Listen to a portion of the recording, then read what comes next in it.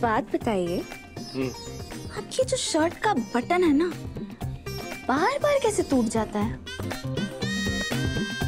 अब क्या करें मैं हुई इतना डैशिंग के जहाँ जाता हूँ ना हम्म। लड़कियाँ पीछे ही पड़ जाती है। कभी किसी के खूबसूरत बालों में तो कभी किसी के ब्रेसलेट में कर टूट ही जाता है।